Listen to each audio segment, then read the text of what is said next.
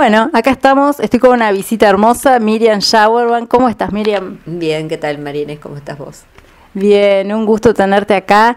Y bueno, Miriam es una muy, muy, muy conocida artista plástica con una hermosa trayectoria, muy interesante. Y con tanta trayectoria, eh, me gustaría que me cuentes cómo fue que iniciaste la misma, porque vos, tengo entendido, sos arquitecta.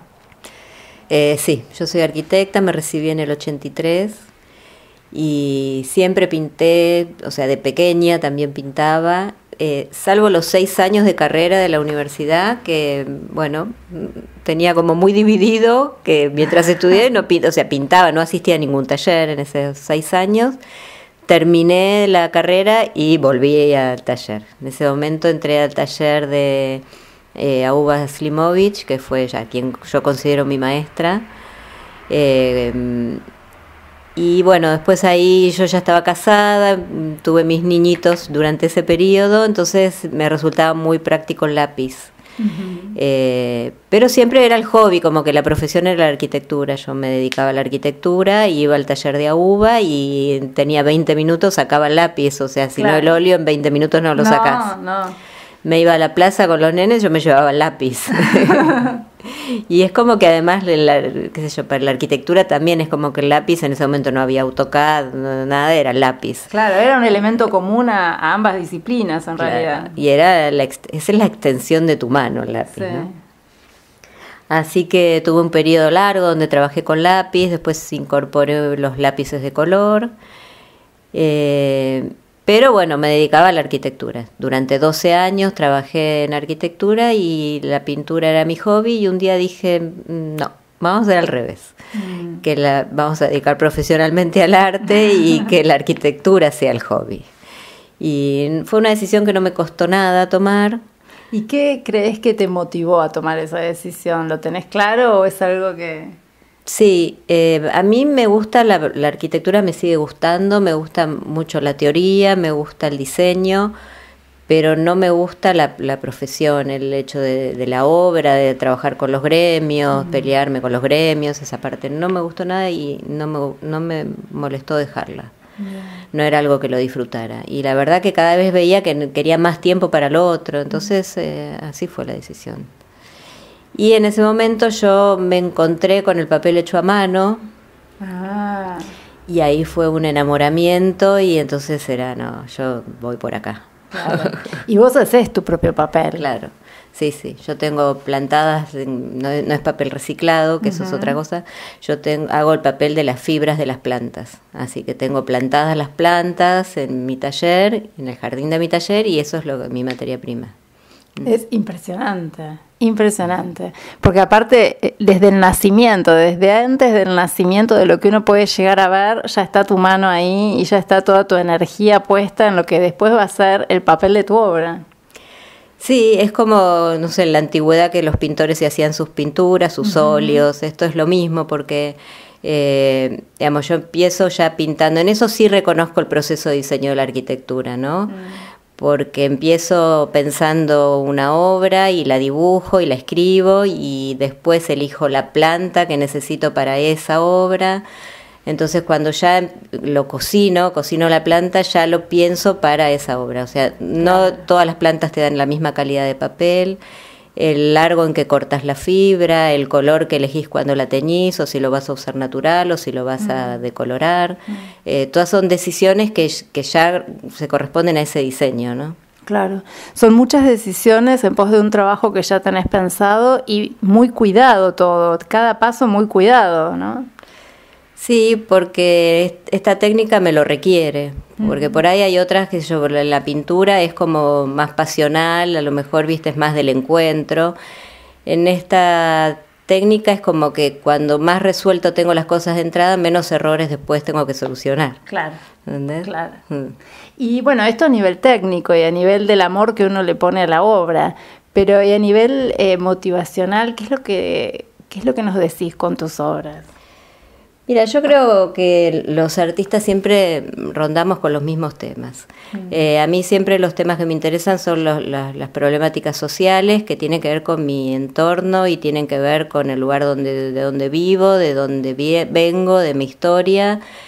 Eh, y me parece que el artista contemporáneo tiene que representar su época. Entonces, estos son los temas que me interesan. Y esta es mi mirada y esto es lo que yo veo cuando voy por la calle y esto es lo que yo traigo a mi taller.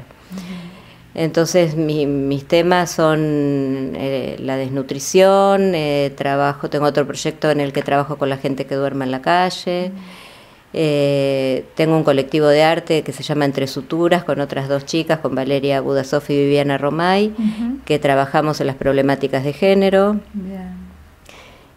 Y bueno, particularmente, o sea, cada una de nosotras también tiene otros su, proyectos personales a mí me atraviesa lo textil. Claro. ¿No? Y bueno, son esta conjunción de cosas las que después van a tener resultado. Acá lo que traigo en esta obra de acá, que se llama Guardián de mi hermano, también tiene que ver con eso. Es una serie que trabajé sobre el hambre. Sobre el hambre. Sí. Qué fuerte. Sí, son todos temas fuertes los que los que yo voy eligiendo.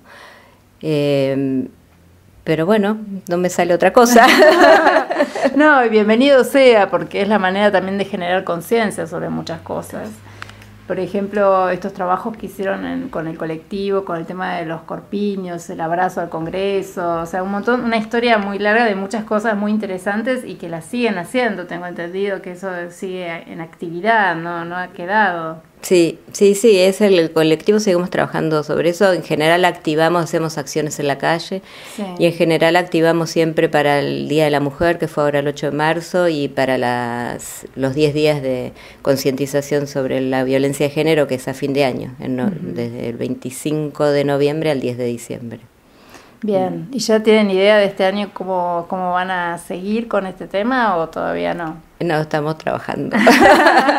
bueno, hay tiempo, hay tiempo. Recién estamos. Sí, trabajamos todo el año para eso. Sí sí sí, sí, Bueno, y, esta muestra que, que traes ahora la Fundación Pablo Chugarri en Punta del Este viene de otro lado, ¿verdad? Mm. Sí, en Buenos Aires ya la mostré, la mostré en el CAT, que es el Centro de Artistas Textiles, en Buenos Aires el año pasado.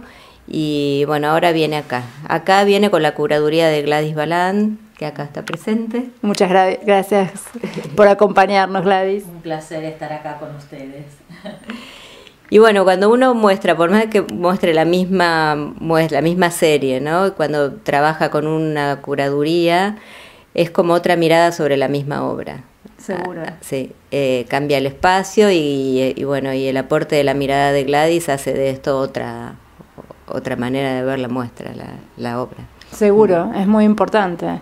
Y además también es muy importante, eh, en este caso, bueno, es una muestra que también va, va a compartir el espacio Ivonne da Costa y es muy importante con quién se comparte, que dialoguen las obras, que tengan algún tipo de relación y bueno, la verdad que son dos grandes artistas, así que bueno, no tengo duda que va a ser una muestra excepcional, así que bueno, nos faltaremos. Esperamos, sí, sí, la verdad que sí, con la obra de Ivonne eh, creo que funciona muy bien. O sea, tenemos un lenguaje textil las dos, eh, eh, hasta en color, o sea, se integran. Si bien estamos cada una en otra sala, me parece que se ve muy bien todo el conjunto. bien, mm. bien. bueno, contame después cómo sigue. Eh, terminás con la muestra acá, bueno, la muestra queda, queda hasta finales de abril, me habías dicho. Sí, sí. Y después te vas para Buenos Aires y la llevas nuevamente para allá o tiene algún camino ya trazado o no? No, esta muestra no, no. Está. Viene ya paseando en realidad. sí, puede seguir paseando, ¿por qué no? Eh, pero no, digamos, esta serie está concluida para mí. Yo ahora ya estoy trabajando en otras cosas. Eh, si bien uno, como dije antes, uno siempre anda por los mismos temas, pero eh, a veces retomo alguna, o sea, antes de trabajar con esto estuve trabajando con una serie de libros y bueno, y de, sobre los libros que se llamaba El mundo existe porque el libro existe. Después empecé con El guardián de mi hermano y ahora me aparecieron ganas de seguir con otros libros eh, bueno, tomando de vuelta esa, esa temática, pero de una manera diferente. Estoy trabajando con las ventanillas de los autos eh, que encuentro en la calle después que les roban. Y bueno, esas ventanillas después se convierten en las tapas de los libros. No sé si lo viste en el Cibori que estuvo... No, Ah. no pude. Bueno, no pudiste viajar. No. bueno, pero es, esa serie se, se llama El futuro de la humanidad no está en el guerrero, sino en el libro. Y son una serie de libros de distintos formatos, distintos tamaños, que, que son las ventanillas de los, de, de los autos, que yo voy recogiendo de la calle, que se puede ver eso en un video también, y para el papel hecho a mano siempre. Bien. Bueno, impresionante. Siempre nos sorprendes. Sí, claro que sí. Eh, bueno, muchísimas gracias, Miriam. Y bueno, éxitos. Nos vemos pronto. Gracias, sí, espero y espero, bueno, a los oyentes que si andan por aquí la puedan visitar. Seguro que sí. Está hasta el 30 de abril abierto todos los días ahí en la Fundación Achugarri, Menos los lunes. menos los lunes Menos los lunes. Estos son manantiales. en Manantiales. Perfecto. que esperamos que vayan. Muy bien.